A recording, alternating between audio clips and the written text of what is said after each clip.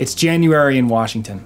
It's dreary, it's drizzly, and it's the 47th anniversary of the Roe v. Wade Supreme Court decision, which legalized abortion throughout the United States. Every year, hundreds of thousands of people from all over the country, many of them high school and college students, pack into buses and cars, armed with colorful signs and ham sandwiches wrapped in aluminum foil for the annual March for Life. And while the media isn't always very kind to them, one kid last year, by the name of Nick Sandmann, had a particularly nightmarish experience. The center of the firestorm, what critics characterize as a smirk on Sandmann's face. Heightened security that is open ended for now. Students were back amid anonymous threats of putting them through wood chippers, shooting up their school, locking them inside, and burning the building down. It's been one year since the Covington Catholic debacle. But 2020 is a new dawn, and I wanted to get to know directly some of the young men and women marching. Teenagers who still came, ready to show their support for the rights of unborn babies, despite the fact that one viral video could put them in a media maelstrom and unfairly brand them as a household name and villain for life. I grew up going to the March for Life at my home parish of St. James Catholic Church in Charles Town, West Virginia. And this year, in 2020, I went again, this time as a producer with the Daily Signal. The trip from Charles Town to Washington requires an early start, so the kids stayed overnight at the church and got up at 4:30 a.m. to get their day started. And so did I. Are you ready, Tasha? I don't know. Do you have any eye boogers? Peter. What? Hey. What am I supposed to say? Can you tell us what we're doing today? Yeah. We are waking up in this bright, sunny West Virginia day. And we're going to the pro-life march. Um, we're gonna go on the March for Life. We're going to the pro-life march. What are we doing first? Eating breakfast and hopefully getting some coffee. It's gonna be lit. We get some breakfast. We get on a bus for several hours. That hopefully starts this morning. And once we're done that, what are we gonna do?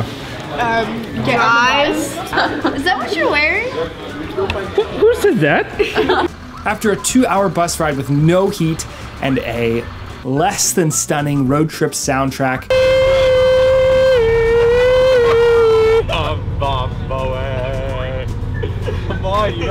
we arrived at Capital One Arena for the annual Mass for Life. I've been a few times, but the sheer scale of this thing never ceases to amaze me. There are Catholic youth from all over the country, many of them having endured much, much longer bus rides, and many more sessions of impromptu karaoke. After Mass, it was time to get out to the march itself. And it was here, on the streets of DC, that I got to have some conversations about just why these people came out to the event. I am here because I want to stand up for the unborn. It's going to be good. It's going to be a lot of fun to see all these uh, other people that are trying to end abortion. Gotta get those steps in today. Gotta get those steps in. Whenever I encounter someone with a pro abortion argument, I try to go from, about it from a scientific standpoint. As soon as the sperm meets the egg, there's a whole new being. There's DNA, it has a soul, it has organs, it feels, and it has a brain. It's a human. Well, none of us in this group were required by anybody to come here. It's all by choice because we love babies and we really find the need to defend them. You have to live out what you believe. So it's one thing to be like, I'm pro life, but then stay at home. It's another thing to walk the march and spread the word because you really should act out what you believe to make a difference. So I'm a permanent deacon. Uh, so I'm a married man. I am a father of seven, six born, one coming. I didn't know that. Yeah, you heard it here first. and this is Matthew, which is not one of my seven, uh, but he's on loan. Yeah, yeah, exactly.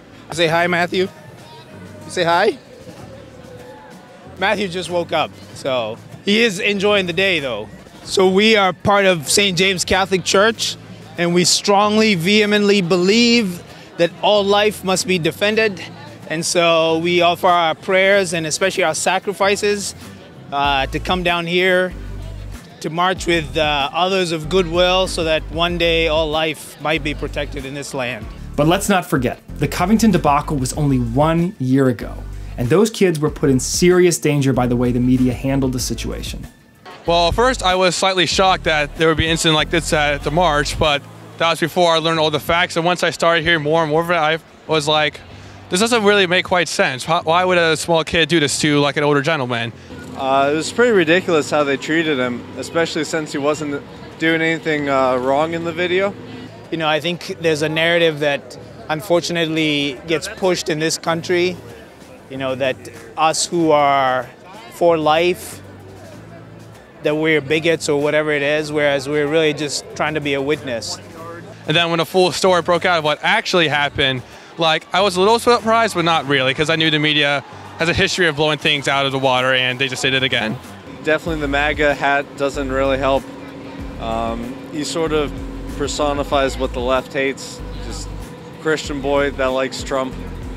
If their political and religious convictions had been different, would the national media have been so willing to put them in harm's way? Perhaps if the Covington Catholic kids had been democratic socialists or members of Antifa, the media would have held a more appropriate, neutral position when the video went viral. So were this year's teens scared of being victims of a potentially violent media backlash, as Nick Sandmann and his friends were? No, not particularly. Because uh, if a situation does happen like that, I'd like to just do it heated and just remain calm, walk away. We are called to be the voice for the voiceless, so we should be out there doing it, and it's the right thing to do. No, I think I think we all know our uh, our stance pretty well. I think it's pretty solid. Human life, from conception until natural death, is is valuable, and it shouldn't be wasted. I feel very safe, and I, if anyone wants to argue with me, I will have a discussion with you, of course. But we are here to save lives from a moment of birth until natural death. We stand for the truth. Ultimately, always the truth wins. Uh, we have a joyful, uh, youthful, energetic group. That's what we're about. We're trying to be a witness to really change hearts. America stands for something that's absolutely incredible that the world needs more of. It's freedom, but just natural God-given rights of life, liberty, pursuit of happiness, and absolutely every person in this world needs that.